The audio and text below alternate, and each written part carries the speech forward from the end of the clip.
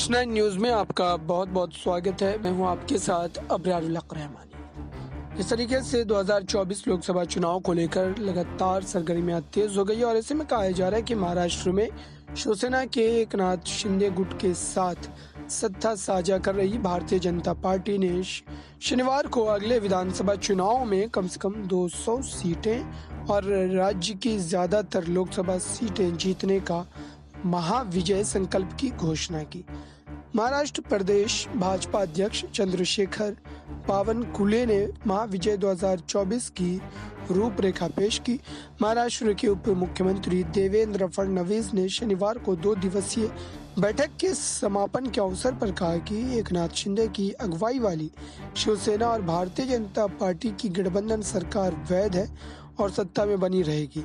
उन्होंने ये टिप्पणी उद्धव ठाकरे के शिवसेना गुट की ओर से मौजूदा सरकार के गिरने का, जो एक तरीके से पूर्वानुमान लगाए जाने के संदर्भ में की है।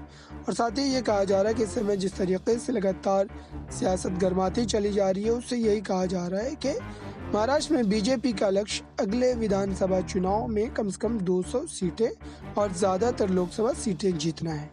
इसके लिए बीजेपी ने महाविजय संकल्प की घोषणा कर दी है और इस घोषणा के बाद विपक्षी खेमा काफ़ी ज़्यादा परेशान नज़र आ रहा है। डिप्टी सीएम देवेंद्र फडणवीस ने कहा हम 200 सीटों पर जीत दर्ज करेंगे और साथ ही लोकसभा में भी ज़्यादातर सीटों पर हमारी ही जीत होगी।